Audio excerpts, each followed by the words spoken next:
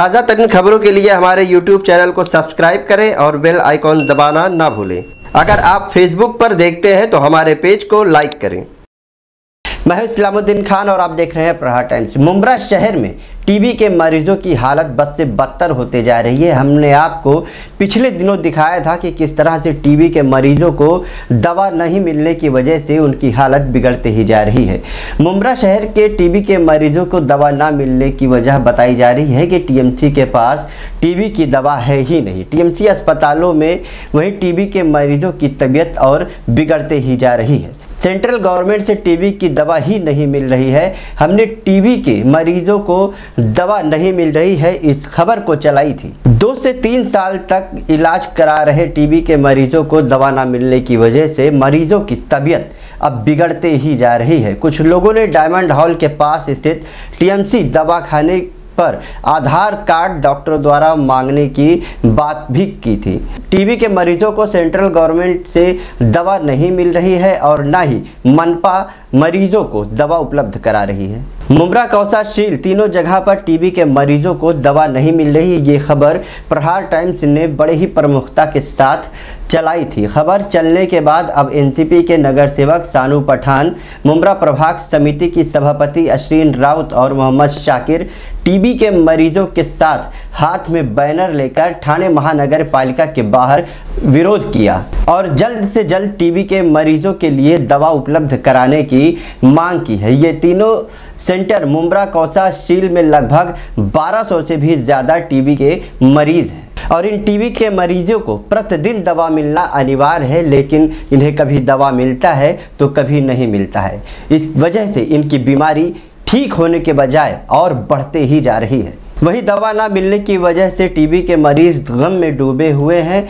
और ठाणे महानगर पालिका में दवा की मांग करते हुए शानू पठान ने कहा, अगर मरीजों को दवा नहीं दी जाएगी तो महासभा में भी इसका आवाज़ उठाऊँगा। वहीं शानू पठान को इसी दौरान मनपा कमिश्नर संजीव जायसवाल ने भी जल्द से जल्द दवा मुहैया कराने का आश्वासन दिया है। इस दौरान शानू पठान ने क्या बताया है? शानू भाई, जिस तरह से मुमरा शहर में टीबी के मरीज़ बढ़ते जा रहे हैं और दवा नहीं मिल रही तो आज आप लोग यहाँ पर महासभा पे क्या करने आए क्या? देखिए, ऐसा है कि मुमरा कोसा के अंदर और बाकी ज़्यादातर टीबी केंद्रों में दवाएँ उपलब्ध नहीं है। इसीलिए आज महासभा के अंदर हम लोग माननीय महापौर और आयुक्त साहब से बताने आए कि टीबी के मरीजों की जान खतरे में है।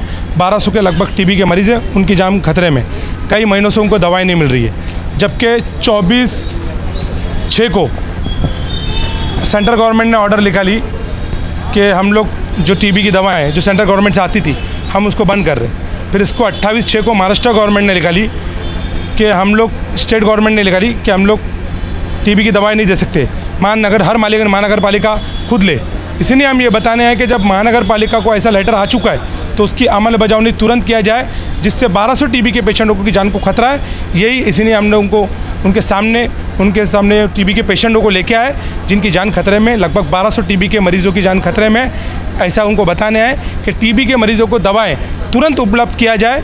यह महासभा के अंदर उनको विशेष तौर पर इस चीज़ के ऊपर नज़र जाना चाहिए। सभी जो टीबी के केंद्र है आरोग्य केंद्र है मुमरा कौसाचिल उनकी बुरी हालत है उनके उधर जो दवाएँ वो उपलब्ध नहीं है उनको उन प्रशासन की आँख खोलने के लिए हम लोग आज महासभा के अंदर ये लिखे हैं। आधार कार्ड की मांग की जा रही है कि अगर आपके पास आधार कार्ड है तो टीबी की दवा दी जाएगी। क्या आधार कार्ड अनिवार्य है लगना? देखिए ऐसा है कि डॉक्टर बेचारे खुद परेशान हैं। आज डॉक्टरों से हमारी बात हुई तो डॉक्टरों का ये कहना है कि छः महीने से ऊपर से दवाएँ नहीं हमारे पास। सीधा सेंट्रल गवर्नमेंट ने बोल दी कि दवाएँ नहीं देंगे हम। उसके बाद महाराष्ट्र गवर्नमेंट को भी ये लेटर इशू हो चुका है। तो हमारे पास दवा नहीं, ऊपर से पेशेंट लोग हमारे को दवाओं की नहीं उनके परिवार वाले आके हमसे लड़ाई कर रहे तो बेचारे डॉक्टर का काम तो जीवन बचाना है, उनका कसूर नहीं है इसमें। ये बात सही है कि उनको पेशेंट के परिवार पेशेंट को लोगों को आके संयम से बताना चाहिए। लेकिन पेशेंट लेकिन जिस तरह से आधार कार्ड की बात सामने आ रही है कि आधार कार्ड मांगा जा रहा है तो क्या ये सही है? ऐसी बातें हैं तो ये भी बात गलत है। लेकिन पेशेंट के परिवार पेशेंट के परिवार गुस्से में आते और उन पर चिड़ रहे। लेकिन डॉक्टर को साफ़ कहना कि हम क्या करेंगे? हमारे पास दवाई नहीं है। लाखों रुपए की दवा है जो मिल रही नहीं है। तो डॉक्टर क्या करेंगे? लेकिन डॉक्टर ने अगर ऐसा किया है तो हम डॉक्टरों को भी ये विनती करेंगे और जाके लेटर देंगे कि ऐसी कार्रवाई ऐसा नहीं होना चाहिए। लेकिन साफ़ बात यह है कि महानगर पालिका और स्टेट गवर्नमेंट इस पर तुरंत निर्णय ले। आज हम महानगर सभा के अंदर बाहर ये प्रोटेस्ट कर रहे हैं आंदोलन कर रहे हैं। अगर टीबी की दवाएँ उपलब्ध नहीं हुई तो आने वाली महासभा के अंदर हम अंदर हाउस के अंदर बैठेंगे। अभी फ़िलहाल क्या आश्वासन है? अभी माननीय माननीय कमिश्नर साहब ने हमको आश्वासन दिया। आपने देखे होंगे तो। माननीय कमिश्नर साहब ने आश्वासन दिया है कि मैं टीबी की दवाओं के जो दवा की फ़ाइल है जो बजट है उसको तुरंत मैं अमल बजावनी करके उसको मंजूरी दे रहा हूँ और आज या कल में उसकी मंजूरी हो जाएगी। दो तीन दिन की अमल बजावनी होकर जितने भी टीबी के पेशेंट हैं उनको दवाएँ मिलने लगेंगी। ऐसा आश्वासन दिए मैडम जिस तरह से आधार कार्ड का इशू बताया जा रहा है कुछ लोगों के पास आधार कार्ड नहीं है तो उन्हें दवा नहीं दिया जा रहा है तो क्या इस पर भी आप लोग कुछ आवाज़ उठा रहे हैं इस, इस आधार कार्ड को लेकर? देखिए कहीं पे भी आधार कार्ड कंपलसरी किया गया नहीं है दवाएँ ऐसी ही दे रहे हैं लेकिन अभी तो दवाएँ मिल भी नहीं रही है तो आधार कार्ड का सवाल ही नहीं आता है। और जो आधार कार्ड जो लिया जाता है तो वो गवर्नमेंट से उनको जो पैसा आता है बैंक में, उसका अकाउंट खोलने के लिए आधार कार्ड मांगा जाता है।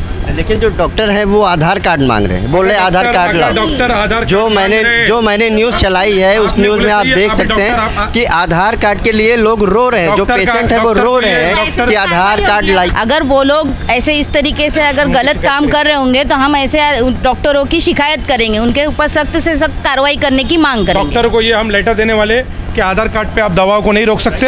हाँ आपको आपको दवाएँ देना पड़ेगी। वो देना पड़ेगी तो देना पड़ेगी। आधार कार्ड आपको चाहिए तो आप बाद में मंगा लीजिए लेकिन आप उसके उसके बेसिस पे दवा को नहीं रोक सकते। ये सभी मामले के लिए आज इसलिए सभागृह के अंदर हेड ऑफ़िस के अंदर हम लोग इसलिए आए कि प्रशासन और सत्ताधारी को आँख खुले। जिधर टीबी का इलाज किया जाता है कल्याण शिलपाटा रोड पे जो ठाणे महानगर पालिका का रुग्णालय है वो रुग्णालय का एक दिन कंडीशन जाके देखो आप भी जाके देखो क्या कंडीशन है? उसमें पूरा पानी लीकेज हो रहा है उसके उधर बैठने के लिए लोगों के लिए कुर्सी नहीं है और डॉक्टर के पास दवाई नहीं है। कितना लोग बम बम कर रहे हैं चक्कर काट रहे हैं। और मेन पहला वो हॉस्पिटल का सुधारना हो चाहिए होना चाहिए क्योंकि उन्नीस में मैंने 30 साल पहला ठाणे महानगर पालिका ने यह हॉस्पिटल बनाया उसके ऊपर अभी तक चाराना खर्चा नहीं किया। सिमरन पालो जी। मैंने पहले दो साल इलाज करी मेरी 24 महीने की रिपोर्ट भी नॉर्मल आई। तीन महीने बाद वापस से मेरे को टीबी हो गई और लास्ट स्टेज है मेरा।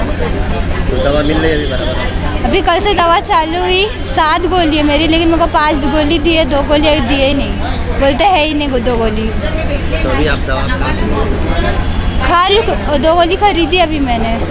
यानी बाहर से लेना बाहर से ले रही हूँ। में दवा नहीं है। नहीं है। बहरहाल जो भी हो टीबी के मरीजों को दवा ना मिलने की वजह से उनकी ज़िंदगी दांव पर लगी हुई है। वहीं डॉक्टर दवा ना होने का मजबूरी बता रहे हैं। टीबी की दवा मुफ़्त में देने वाली सरकारों को ये देखना ज़रूरी हो गया है कि अब टीबी के मरीजों का क्या हाल हो रहा है। ना ही इन्हें दवा मिल रही है बल्कि बार बार इन्हें अस्पतालों का चक्कर लगवाया जा रहा है और इनकी बीमारी और भी बढ़ते ही जा रही है। अब देखने वाली बात ये होगी कि क्या ठाणे महानगर पालिका के बाहर विरोध करने से क्या वाकई में टीबी की दवा उपलब्ध हो पाएगी या फिर इन्हें हाउस में भी आवाज़ उठाना पड़ेगा? दवा मुहैया होगा या फिर टीबी के मरीजों से दवा आज आएगा, कल आएगा, आज मिलेगा, कल मिलेगा, ये कहकर इनकी ज़िंदगी के साथ खिलवाड़ होता रहेगा।